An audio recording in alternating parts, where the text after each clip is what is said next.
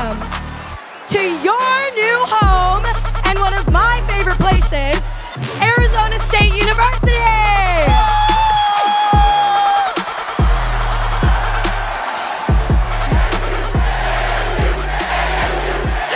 All of you at some time, at some point in your, in your experience here at ASU, will need help.